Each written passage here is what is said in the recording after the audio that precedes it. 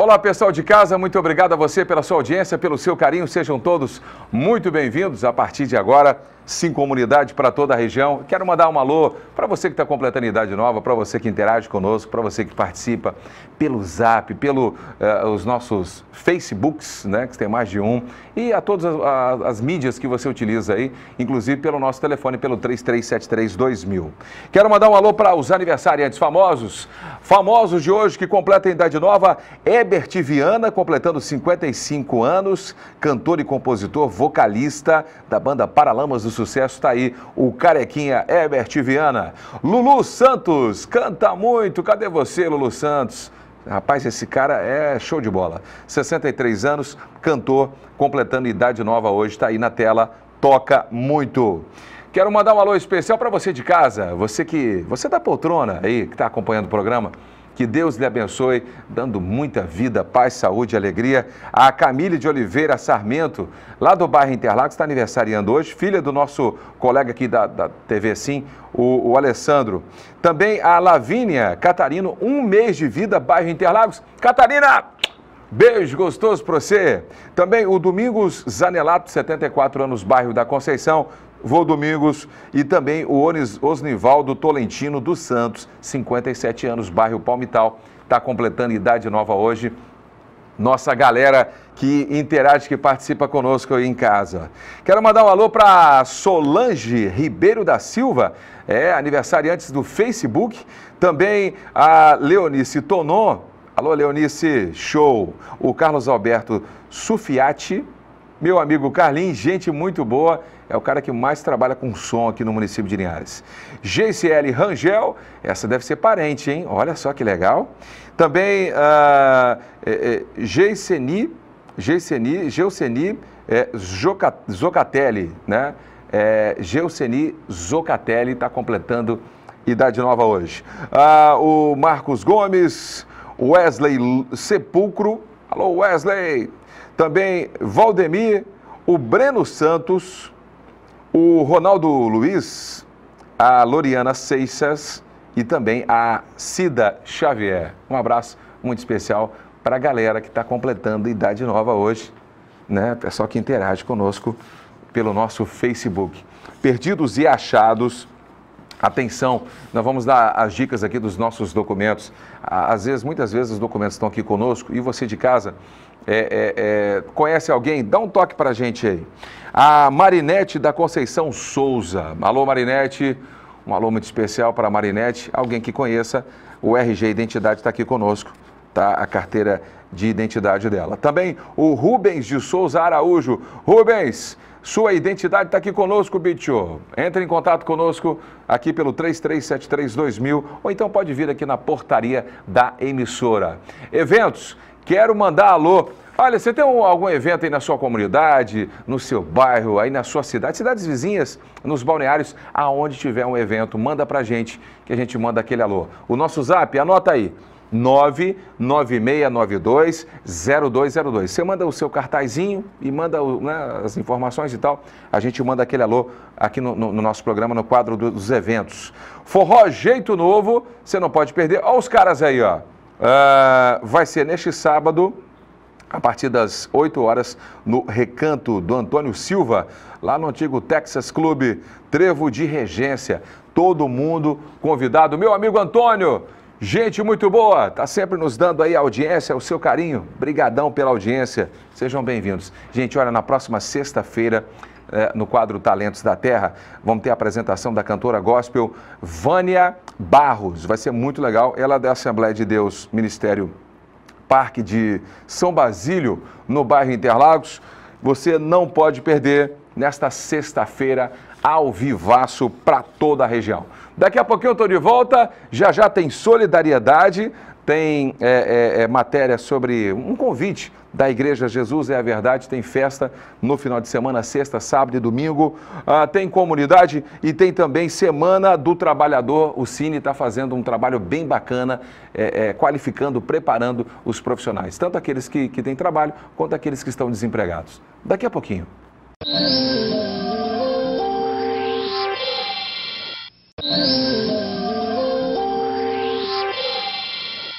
De volta aqui no Sim Comunidade, eu quero chamar sua atenção para um rapaz. O nome dele é Lucas. O Lucas, ele tem 15 anos e desde pequenininho, desde quando ele nasceu, ele não caminha. E ele tem um problema que a cabeça dele não para de crescer. Então ele fez um tratamento, eh, fez uma cirurgia, inclusive está internado no hospital HGL, precisa do nosso carinho, da nossa solidariedade. Nós conseguimos uma cadeira de banho, conseguimos uma cadeira de rodas tá? E a gente vai fazer a entrega ainda essa semana para o Lucas. Mas nós estamos precisando fralda geriátrica, alimentos. Olha, só para você ter uma ideia, a família tem 13 crianças, tudo pequenininho. São 13 meninos. O pai está com câncer, está passando assim uma situação bem difícil, não pode trabalhar. E a mãe tem que cuidar dessa molecada toda. Então os vizinhos, o pessoal tem ajudado muito. E você acompanha no quadro Solidariedade desta semana. E hoje, no quadro Solidariedade, só para você entender do que nós estamos falando aqui, nós estamos na casa do Lucas, esse rapazinho, que ele é deficiente, ele, ele não caminha, ele usa cadeira de rodas. E nós estamos aqui na casa. Eu, eu, quero que dar uma viajada aqui na casa do Lucas, que é uma casa bem simples, você pode acompanhar. Chega para cá, é, é, Giovana, a Maikele também que está conosco aqui, que tem acompanhado, que inclusive pediu a nossa ajuda aqui no nosso programa. Gente, olha, nós precisamos de fralda geriátrica, precisamos de alimentos, precisamos de cadeira de banho, cadeira de rodas. É, essa família aqui tem 13 crianças, né, Maikele? São 13 meninos, tudo um carreirinha, um atrás tudo do outro. Tudo em carreirinha, um atrás do outro. E agora ela fez cirurgia, ela operou, não tem mais menino. Tem não. Então, tem não. Gente, pessoal de casa, vamos mandando, vamos, vamos, vamos nessa. Vem comigo, vem comigo, pode vir, vem comigo. Vamos mostrar aqui a casa aonde mora o Lucas. O Lucas é um menino simples, humilde, tá? Olha só, eles, eles dormem aqui. Não tem é, guarda-roupa para guardar as roupas deles, as roupas de cama, tudo tá tudo. Pode, pode vir comigo, pode vir comigo. Vem comigo, vem Maikele, vem, vem, vem para cá. Olha, aqui é o quarto Deixa, deixa o nosso cinegrafista entrando para cá. Chega para cá. Aqui é apertadinho. Mas vamos mostrar, vamos mostrar. Aqui é o quarto, aqui é o quarto dela, né? É um quarto bem simples. Você que está aí acompanhando, tá? O programa, preste atenção.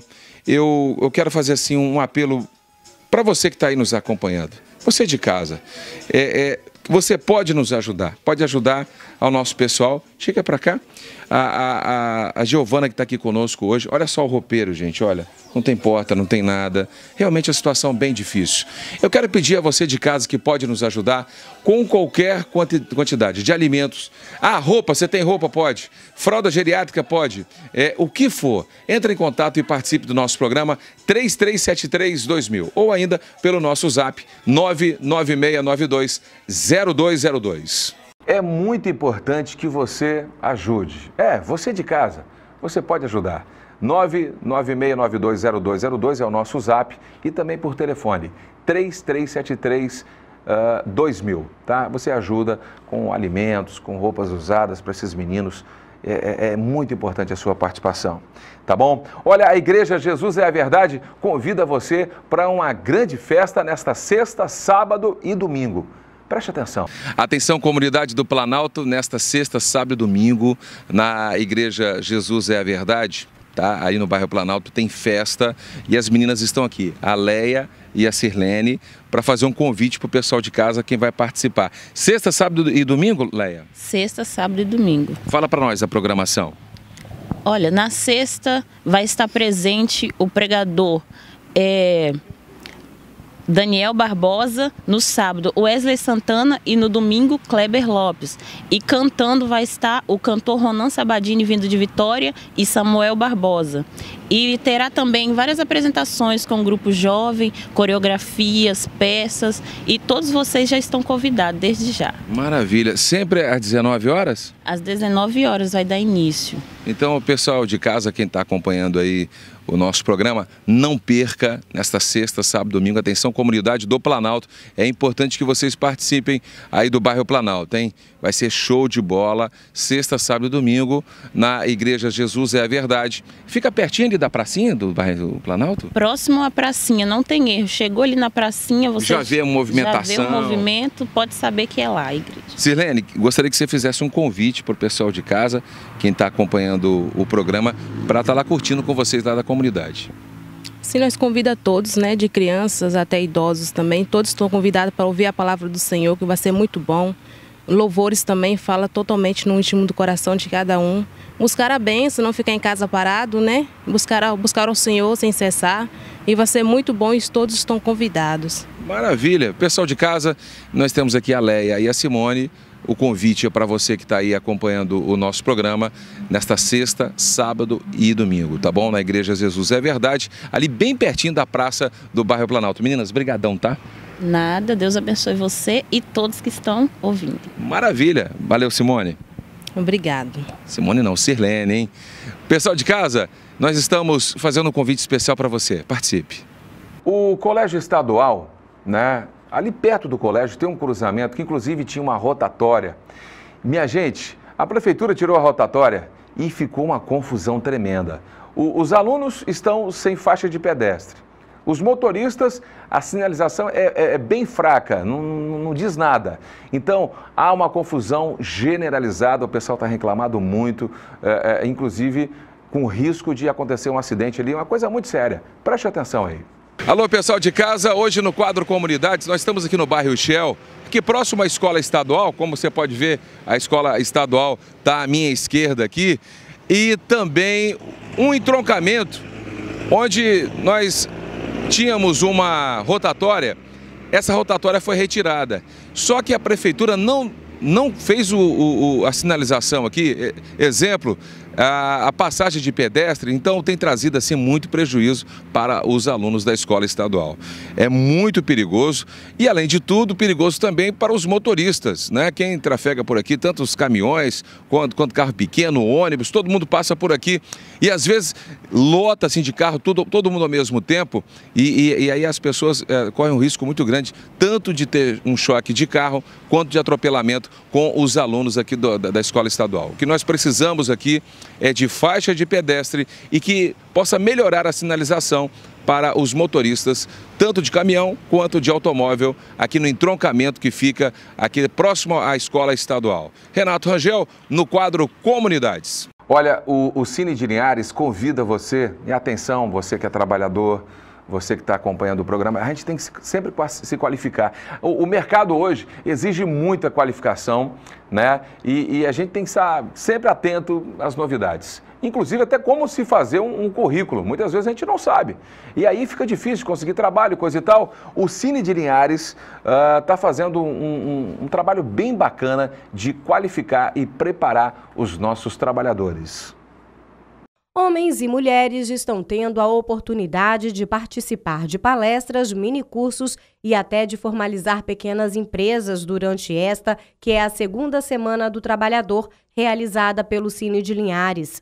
Com a iniciativa, o Cine pretende capacitar durante toda essa semana cerca de 500 pessoas, entre trabalhadores que desejam uma vaga no mercado de trabalho e microempreendedores que buscam aperfeiçoar o seu negócio a gente trazer para essas pessoas um pouquinho de capacitação, orientação, capacitação no sentido do trabalhador que precisa montar um currículo, é, realizar a questão de uma entrevista através do marketing né, pessoal e também as orientações para micro microempreendedor individual, que seria a formalização. Seria essa pessoa que já tem um pequeno negócio, sair do informal e ir para o formal, né, criando o CNPJ. Alguns participantes veem a iniciativa como a oportunidade que faltava para driblar a crise financeira e alavancar a carreira. É esse mesmo que eu estou fazendo aqui hoje é para aprender, é elaborar um currículo melhor, né? Que isso facilita muito para fazer um bom currículo e na hora de apresentar é, para levar na entrevista, ter uma boa apresentação de currículo e na entrevista também para arrumar um emprego, né? Eu sou professora, meio expediente, né, meio horário, e no outro horário eu sou cabeleireira. Aí eu vim buscar algo para inovar o meu negócio, para melhorar, para aumentar as rendas. Já a Daniele é membro do Instituto Sindimicro, um dos apoiadores do evento. Ela ministrou a palestra Como Inovar o Meu Negócio. A gente trouxe exemplos, a gente mostrou vídeos, mostrou produtos e empresas capixabas que inovam sempre, né? E o mais bacana de tudo é o trabalho dele de deles de trocas de experiência. Você de casa, né? Tá aí a oportunidade, quem ainda não teve a oportunidade de fazer o curso, fica atento, faça a sua inscrição, faça o curso que é muito legal. Tem vários cursos interessantes para você de casa, tá bom? Daqui a pouquinho, no terceiro bloco, o doutor Paulo Braga vai falar sobre seguro DPVAT. Vale a pena você esperar aí e participar aqui no programa, tá bom? Mas antes, eu quero mandar um alô para a galera do Facebook, quem está completando idade nova, que Deus possa estar abençoando aí. O, o, César Gomes de Oliveira. Alô, Cezão! Show de bola, hein? O Romildo Lima. Também Davi Wester. Né? Também o Luiz Carlos. Riciele Cardoso. Carol Silva. A Eva Lourenço está completando idade nova. A Maria dos Santos. Alô, Maria! Show! Daniele Alves. Brenda Dadalto. Olha a Brenda aí, que cabelo bonito, né? Também a Lorena Santos, Loura. E por último, Elis Regina Prado. Olha só que nome bacana. Elis Regina, legal. Minha gente, daqui a pouquinho no terceiro bloco, o doutor Paulo Braga é rapidinho, é pai bola.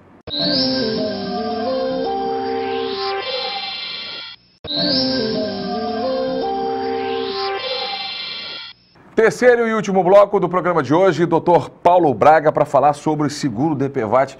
Doutor, é uma coisa que a gente nem imagina, mas acaba usando, né? Sim. Bom dia, Renato. Bom dia, telespectadores.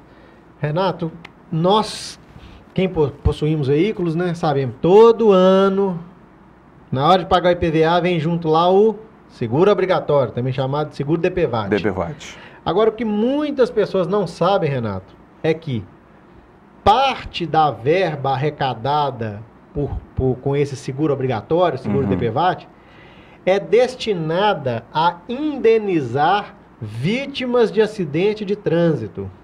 Então, muitas vezes as pessoas, o que acontece? Sofrem um acidente de trânsito, uhum. às vezes vem uma morte de um parente, uma invalidez, tem gastos médicos e as pessoas não buscam essas indenizações que são devidas por, por força desse seguro. Uhum. Então, o que, que, que nós precisamos ter em mente, Renato? Os telespectadores precisam ficar cientes.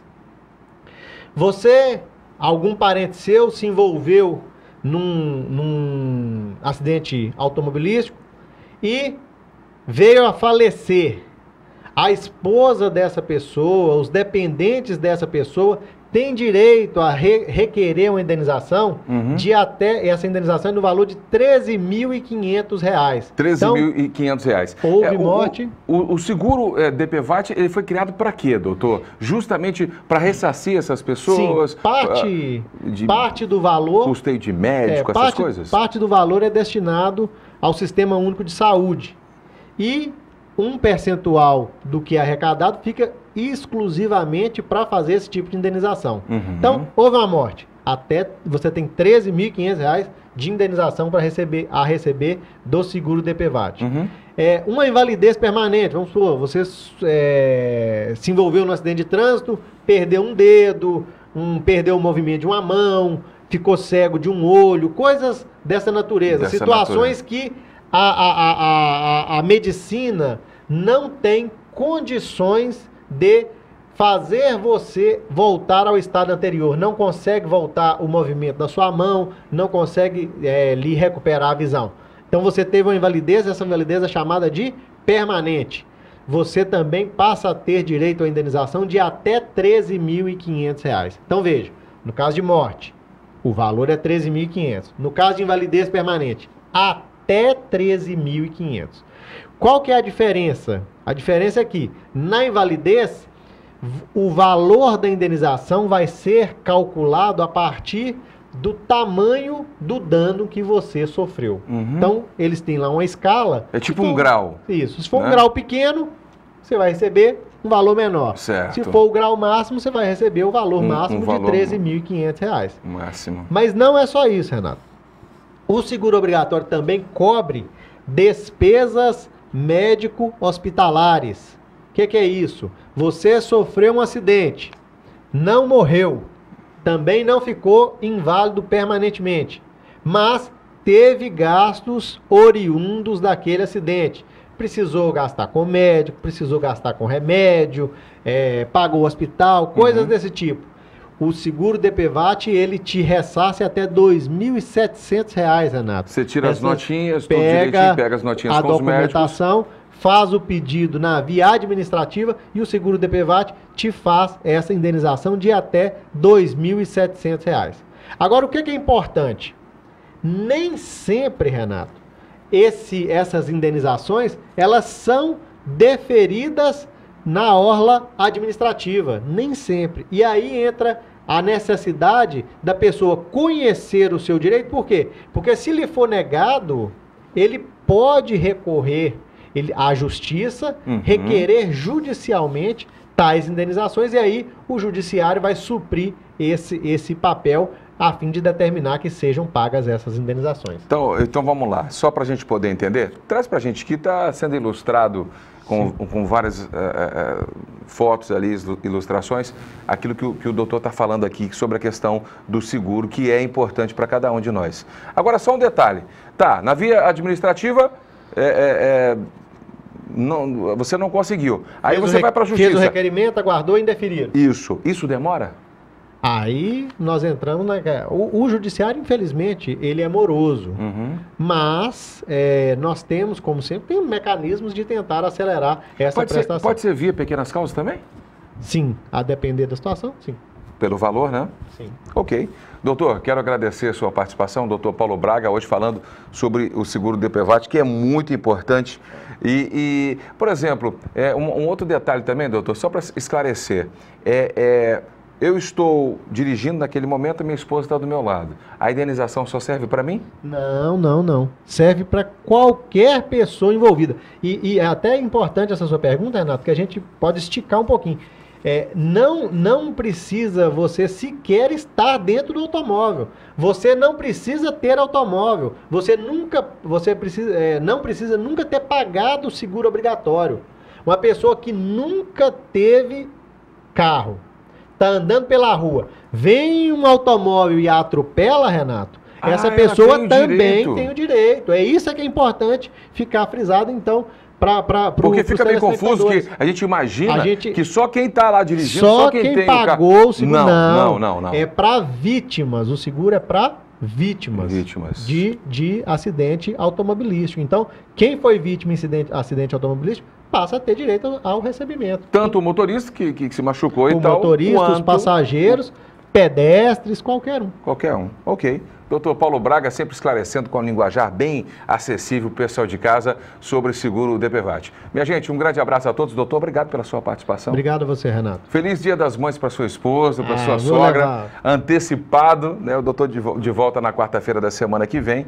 E a todas as mamães, né, né, doutor? Sim, parabéns a todas as mães aí, essas guerreiras do nosso dia a dia. Maravilha. Sabadão agora tem programa especial Dia das Mães para você que está aí acompanhando o programa. Nesta quinta-feira de volta, a partir das 10h45 da manhã. Um grande abraço e até lá. Tchau, pessoal.